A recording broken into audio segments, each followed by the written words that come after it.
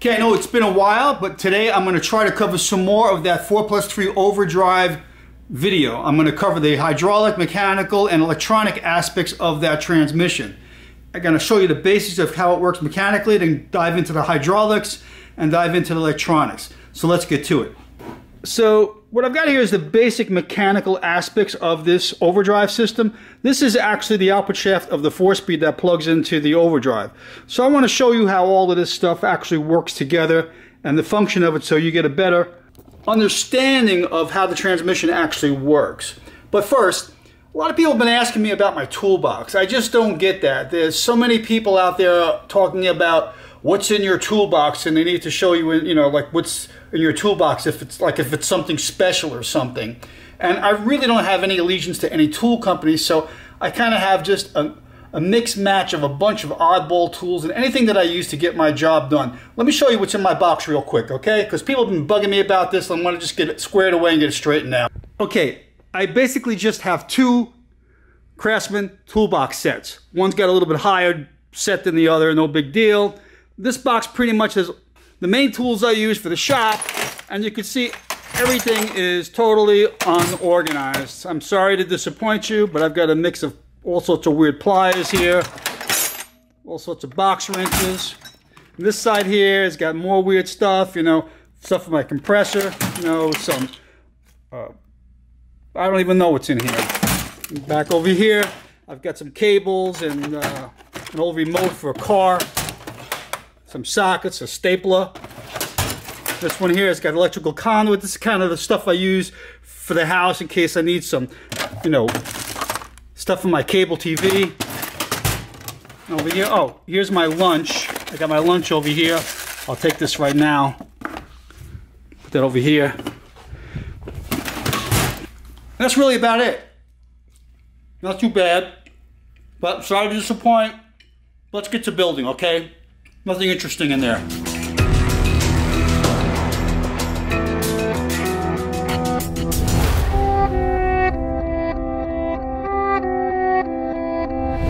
So first I want to talk about overdrive mode. and the way overdrive mode works is that you have the output shaft of the transmission coming into the sun gear.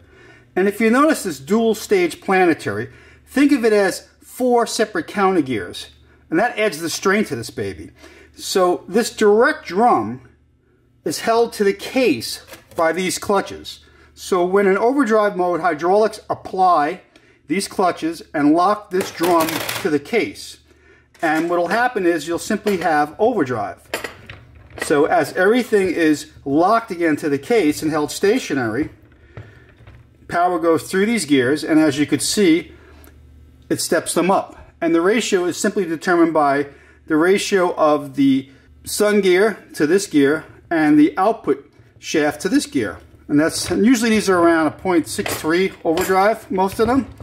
There's two different variations, and I'll show you how to calculate that later. So I have one clutch plate on here, and you can see the clutch plate is splined to the drum, and the steel that it will apply against will be splined to the case. So when these clutches apply and they're held stationary through hydraulics, this thing is going to be locked to the case, and that's what's going to give you overdrive. So that's how overdrive operation works. Now what's unique about this transmission is how the transition occurs from direct to overdrive mode. So the back end of this drum has two purposes. It's a sprag race, and it's also a place for the clutches to hold. But without the clutches in place, what typically happens is if you burn these clutches up, you'll lose reverse and you'll lose your engine braking. So you can see by this method, if I turn this thing in this direction, the sprag is locking and keeping this whole thing solid. But if I reverse power flow, say engine braking where I let off the gas and let the car coast, you can see that I lose my engine braking because there's no clutches. So that's what these clutches do that are in here. Simply put, these clutches go into this system like this I'm going to pile them all in real quick. Not in any specific order. I'm going to just show you what I mean here. So this particular steel is a hardened steel that's actually a Torrington bearing race. And so in direct mode, or if you want to call it reverse or engine braking mode, That pressure plate with all the springs is what keeps this thing clamped together. And that's how this baby works. So when we put this together like this, you're going to have, let's say, this bearing on here, right? That's how that kind of works. So let me show you how this works. Uh, I took the case out of the equation so you could see how everything kind of works without the case in place. You'll get a better idea, I think. So you got this pressure plate with the springs, putting out approximately a 1,300 pound load on the direct clutch pack. What I'm going to do is I'm going to lay this thrust washer down here, this bearing, and your direct clutch pack, very important, has steels and frictions on it, and a special steel for the roller bearing to ride against. It's a hardened steel. So keep in mind that this set of clutches is compressed under the load of this pressure plate against that drum that holds the main shaft in place, keeping everything locked direct between these clutches and the sprag. Surrounding these clutches is the overdrive clutch pack. Now, this is kind of laying in the case somewhat about here. Okay, there's a, a space between, this doesn't lay on the piston, there's a, there's a ledge on the case for it to lay. And there's roughly a small clearance of about 100 thousandths in between the two pieces. So one stack is about 100 thousandths larger than the other, okay? So it's sitting roughly like this. Now, what we do is we take this finger piston and we lay it in place. Let me just line these up better like this.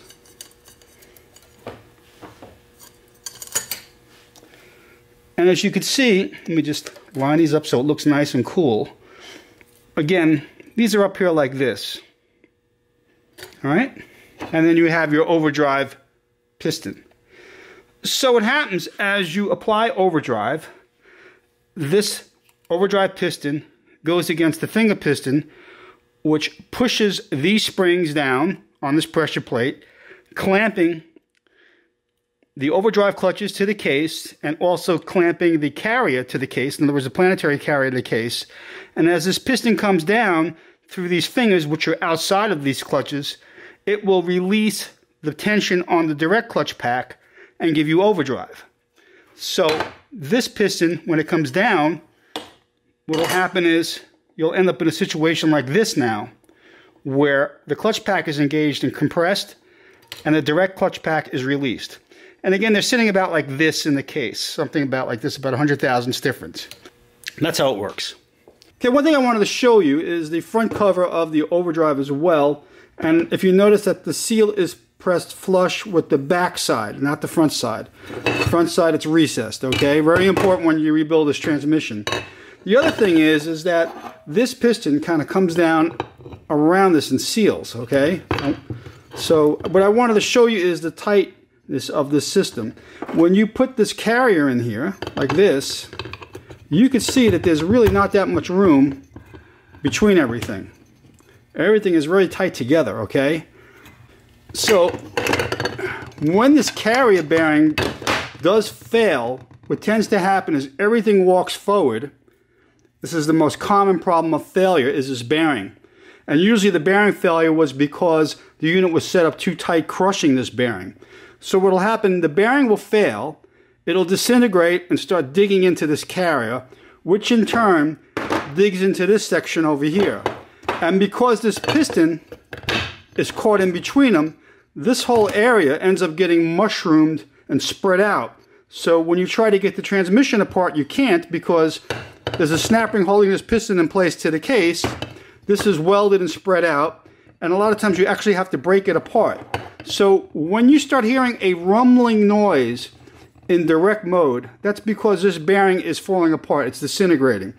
And of course the carrier is held stationary in overdrive, so the bearing noise will go away. So if you hear a rumble in your overdrive, that's because this is spinning in direct mode. And then in overdrive, again, it's clamped to the case and the noise goes away. If that happens, you better get that bearing changed before you have a meltdown and you ruin the front cover and you ruin this piston. These component parts, if you can still get them, are very expensive. Little bit of a tip. So what I want to show you is a few things. This area in the case is where the large support steel for the overdrive clutch pack rests against. I call it a land. And these areas in the case, these big slots, or where the finger piston goes in to engage that pressure plate that's behind here with the springs to release the pressure plate as the overdrive clutches are compressed. So what I'm going to do is I'm going to lay everything in here. I'm going to make clearance for that piston. Those slots there. Quickly do all this stuff.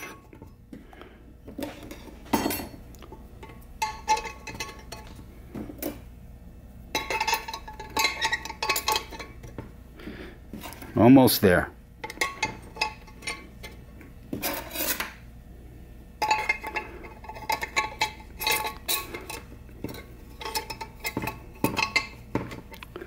Line up the clutches a little bit better.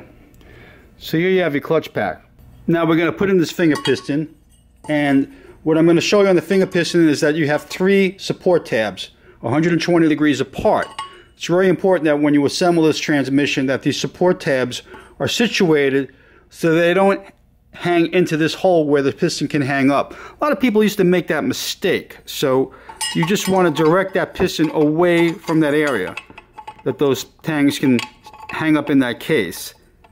So I'm just going to put this piston in here, okay, and it'll slide back and forth nice and easy. Now, just, I'm going to take this direct drum and put it in here, like this. So you can see that I can spin this drum freely, and that when I compress the clutches against the case, the drum is held stationary. See? That's how the overdrive mode works. So now we want to take apart the output shaft assembly and pump. And the first thing you want to do is remove the speedometer drive gear and the retaining clip for it. And you can simply take your fingers and press down on the tang of the clip and start prying against the gear gently. You don't want to ruin the gear at all. It's a plastic gear, but once you disconnect the clip from the gear, you can actually just walk the gear off the shaft. It'll come off pretty easily. Very simple.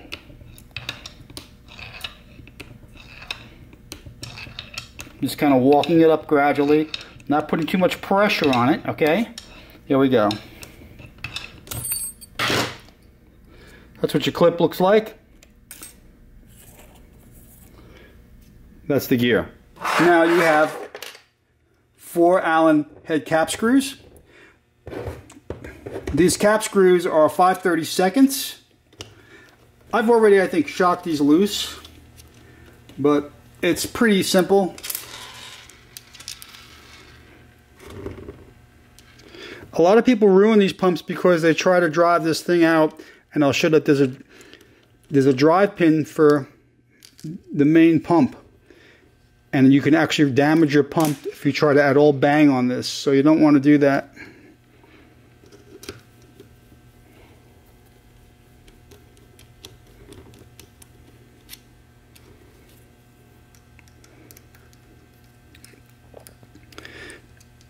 Care should be given removing any of these types of bolts because they're very fine thread pitch on these and you don't want to be stripping anything out here. Again, these parts are very expensive. So once you have the four 530 seconds cap screws removed, you can take the pump body apart. So you can take the back half off and using a magnet This is, by the way, it's called a gear rotor pump. So there's two rotors. There's an internal drive rotor and an external driven rotor. Uh, some people call this the rotor, some people call this the idler, but they're very efficient pumps. And so what I use is a magnet to take the drive rotor out, and that exposes the drive pin that drives that rotor. And I take the magnet and fish out, you can fish out the idler rotor or the outside rotor, keeping, see if you can see these kind of wear marks on it and you want to make sure that it stays in the same position. Once those are out of the way, I could take out the drive pin with the magnet. That there. I could take the back half of the pump off. Now, there's going to be a thrust washer back here bearing and another cross washer. And maybe you want to use your magnet again to take that off. Then we're going to have the hub, the main shaft. Now you're going to have the sprag. And what I want you to notice is that the sprag is directional. There's a lip on the back side of the sprag. That's really important. You don't want to put the sprag in backwards. So if you notice that the sprag has a thicker edge, okay, that faces towards the back of the unit during reassembly. So thick edge faces towards the back for the sprag. Now here we got this is the sprag race. This is in pretty good shape. It's not at all scored or gouged. Just clean it up with some 400 sandpaper and it's good to go. Usually I don't take these off. This presses off, you put press clamps behind it and you press it off in the event you need to change the sprag race. But it's pretty good and I'm going to leave it the way it is. So that's our pump now completely disassembled. Not too hard, just don't lose anything. So by understanding on how the system works, you'll get a, you'll get a better feel for diagnosing issues and why the system is working in the certain conditions or not. For example, like if you put in that finger piston wrong, it could be hanging up in two modes and smoke the unit. So that's very important. So I'll go through all these details again when I assemble the transmission for you, but I just wanted to give you a little tip on the mechanics of it, how it works. And in the next part, we're going to cover the electronics of the unit. Thanks for watching.